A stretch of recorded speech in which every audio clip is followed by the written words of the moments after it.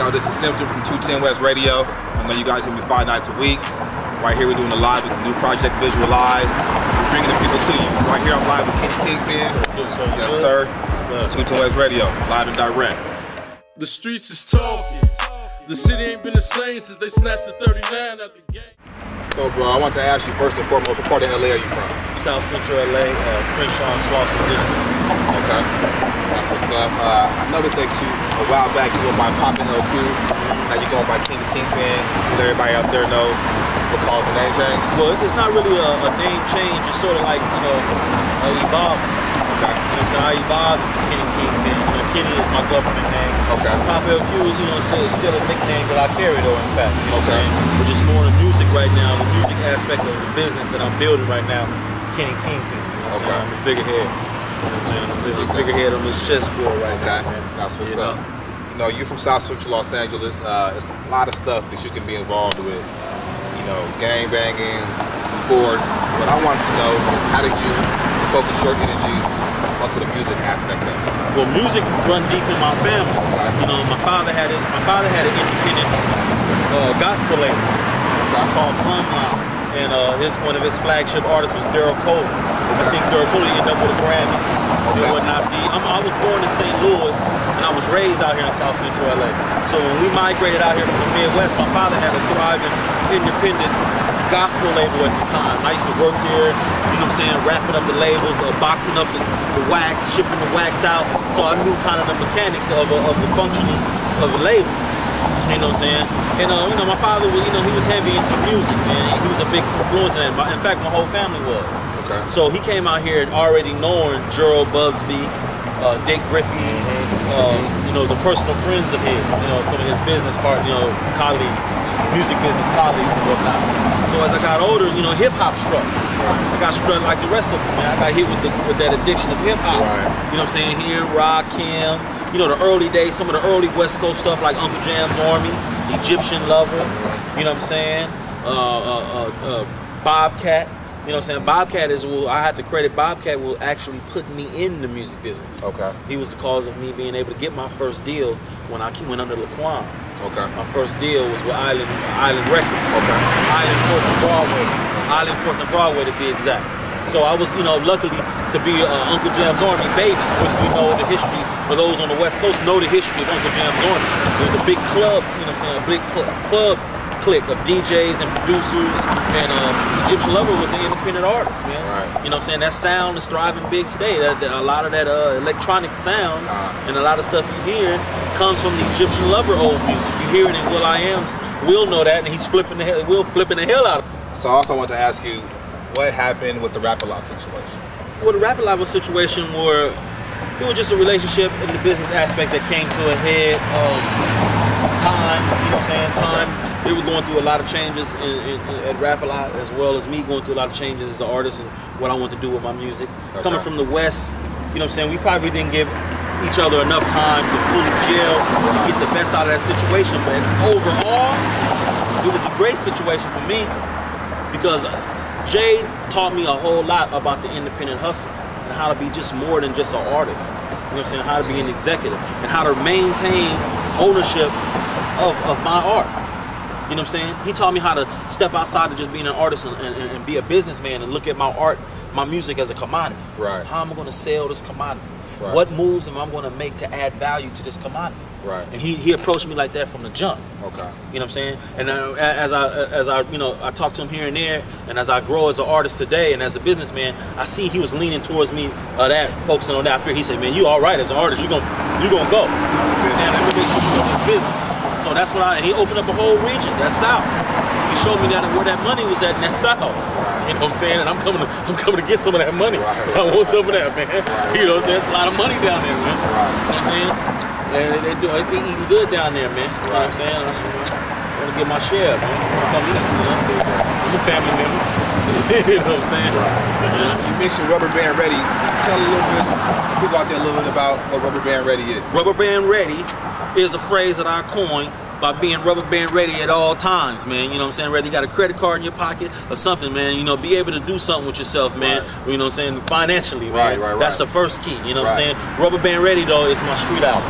That's the title of volume one of my street album, hosted by uh, DJ Ill Will and Rockstar. DJ Ill you know what I'm saying? I have some nice, you know, some nice healthy features on there, like G Malone, Topic.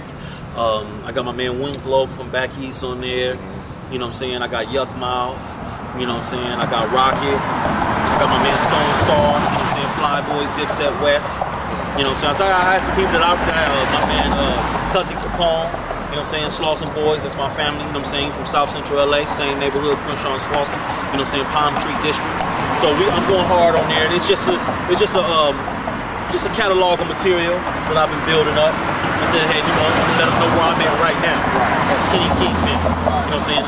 They're complete songs. You know what I'm saying? I mean, I can freestyle, I can rap, but I'm, I'm a songwriter, man. I like coming up with songs. I kind of want to get into that. You know, let people know how you linked up or even hooked up with the Bay Area and how you kept the relationship throughout these years. Well, my relationship with the Bay Area started, man, in the early '90s. Uh, going up there, used to be a lot of seminars up there. I used to fly up and being from the West Coast, and the Bay is right, you know, right up, right up the street up north. Right. I developed, uh, I, I have, like my family, you know, even to this day, it's Money B, Shock G, the whole Digital Underground family. Pac was with them, Dope. doing shows, and, and, and Shock used to always inspire me, man, and tell me, man, you got it. You gifted, man. You know what I'm saying? Get your showmanship together. You know, he used to be on me about making sure I took care of my business.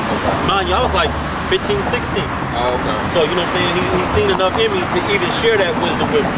And I used to see how they used to go on the road. They, I mean, talking about a live show, Digital Underground, man. They was coming with it. It was like a Great young parliament out there, man. Yeah, you know what I'm saying? So through Shock and, and Money being all them, I, I, I met Yuk in it when they started bubbling, like right before they started bubbling with the five on it. Okay. And me and Yuk clicked. You know, ironically at the time, Yuk was married to like one of my homegirls who I grew up with. Okay. Trina, that, you know what I'm saying? Yeah. That, and then, and then uh, so, you know, we had all, it was like me going through Rap Lot, which was going through Virgin at the time, and they had a deal with Virgin at the time too. We, we you know what I'm saying, we already had close ties, but we, we, we bonded creatively more. Right. And then I had, you know, what I'm saying through that, so I introduced Yuk to Bosco, who's from Portland originally, but did a lot of Bay Area stuff, a lot of stuff with E40. And Yuk, you know, what I'm saying, kind of bridged the gap between Bosco and 40. So that whole Bay Area family, that's my family, man. Like, this is a trip because a lot of time I'm up in the Bay, they like town business. I'm like, you know, I'm from LA, man. They were like, what? We thinking you oh. I'm right, like, nah, right. this, this is just my second home. You know what I'm saying? I navigate through here, you know what I'm saying? I get a lot of love and I reciprocate that love, man. Right. Because all of my guys up there that I fuck with, man, you know what I'm saying? You know, 40, you know, the whole, the whole Sick Wid It family. Right. You know, what I'm saying? They, they show me a lot of love, so I reciprocate that, man. You know what I'm saying? That's my family. Right. Plus, they got that independent grind, you know? Right. Yeah, you can't, man. That, one thing you can say about the Bay Area, man, they are on they hustle when it comes to material and, and, what they push. They're not playing about that. You know what I'm saying? A product is a product, man. To Creative hustle. Yeah. So you know we got we, we have to learn something. Us in here in LA, we can learn something from that. So it's been a while since the streets have heard from you. Mm-hmm. Uh, where you been at? You know, where you been at for the last you know, few months? What's up? What's up with you? Where you been at? Well, currently, I'm in a, federal halfway house facility. You know what I'm saying? Uh, I'm in on a, a, a violation of a few different things. You know what I'm saying? With, with, you know, which I'm, I'm dealing with. And luckily, um, I just finished. I'm at the last 36 days right now of finishing a, a five-year uh, probation. See, when you when you have a federal case, when you get out, it's not probation or parole. They have what you call supervised release. Okay. You know what I'm saying? Anybody coming home from the feds and they get out the halfway house is supervised release. It's not really probation, but it, it acts As if it- as if it's like a Right. probation. You know what I'm Right. saying? You're still So, serving your time. Yeah, so I, I'm off of that in April, Okay. and um, I'm, I'm in a halfway house now. They gave me 120 days in a halfway house on some violation, not reporting some traffic tickets and, and stuff like that, something minor. Okay. And I'm finishing that up. So that's what I've been dealing with. Last year I had to do 10 months because I had some dirty tests. You know what I'm saying? I'm a, uh, you know what I'm saying? A, I'm a, I'm a cannabis advocate. Know what I'm saying? Word up, word up. I'm a cannabis advocate, you know what I'm saying? I, so I like that kush. word up. Yes, Got me in trouble and I had to go sit down for. So I was at Terminal Island for uh, correctional for you know federal correctional facility in, in San Pedro, Uh-huh. and uh, I had to walk the yard there, and I came up with some nice music. I used the opportunity to, you know, really get into my music go back and, and dig in my heart and write and, and share my personal experience and my observation. You know what I'm saying? I- which I feel like that's that's the kind of artist I am, a reflective artist. Anything I'm going through, whatever life throw at me, you know what I'm saying? I'm gonna convert it and, and, and, and make art out of it. That's my job. So after these 36 days, you're done with that? I'm done with that episode in life. That's what's. I'm dropping this rubber band ready. Yeah. I'm going hard. I'm gonna be doing shows. I'm gonna be doing features, man. You know what I'm saying? I had to get some personal things with me today, as far as getting in trouble. Okay. You know what I'm saying? Because faith, faith is a real thing, man. And your faith will be tested. You know what I'm saying? And I say that for all up and coming artists. You know what I'm saying? Faith is the evidence of something that's not seen and the substance of substance of something that's hoped for. You know what I'm saying? So you know what I'm saying? There's a lot of things that you won't you won't be able to see presently that's right in front of you. Right. But that don't mean you don't keep your focus Right. beyond of what's in you know what I'm saying? The whole thing is being able to see beyond your present condition.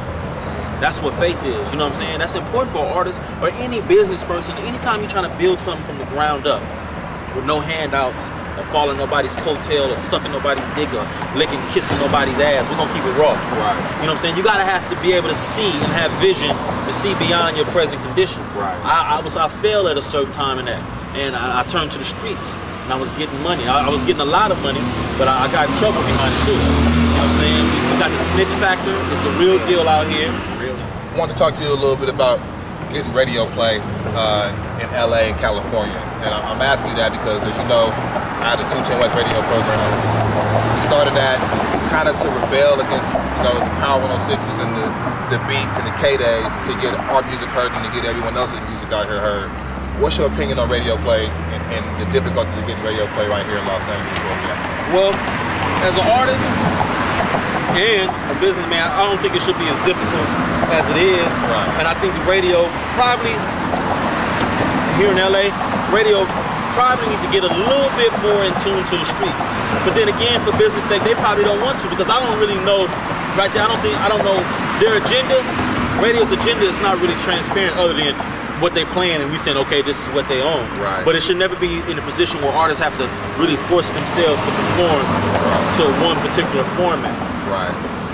no no no matter what it is like it shouldn't just be what all local stuff but local your local backyard yard needs to be heard more Has to be. it, it has to be heard more you know what i'm saying how you know what i'm saying how you gonna say you represent the city if you're not hearing the, the full representation but the problem can be with la in particular is so diversified you know what I'm saying?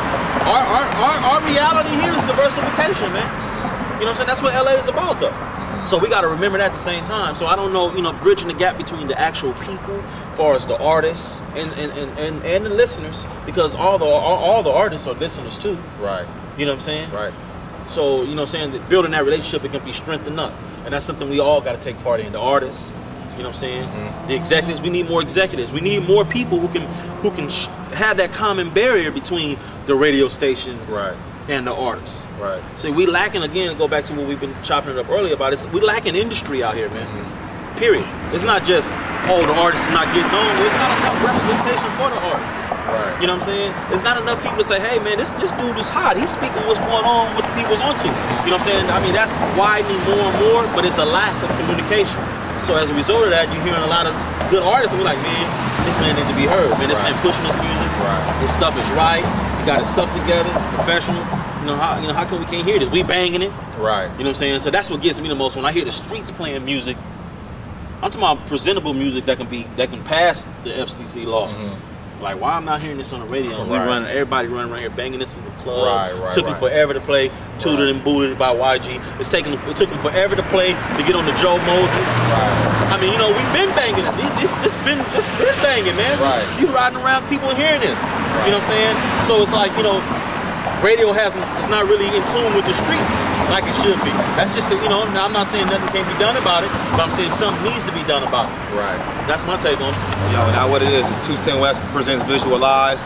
Here with your boy Kenny Keith. I want to thank you for coming out. Thanks for having me, man. Thank you real. for being on the show also at the same time and also helping me out with this project right here. I appreciate that. No, it's a good. This project, you know, what I'm saying. I'm- Excuse me, you know, I didn't Yeah. cut you off, but I just want to commend you for what you're doing in your work, taking initiative, not only to get your own self heard, but just creating a platform for us as artists. Period, man. So you know what I'm saying. And to me, and a lot of cats are complaining about the, the current state of the music industry and the current state of the West Coast trying to come back. Right. They're not really doing nothing about it. They they whining like babies. Right. You grinding. Right. So I'm gonna salute you on that. man. Appreciate that, man. That's what it's about. 210 West, baby. 210 West, man.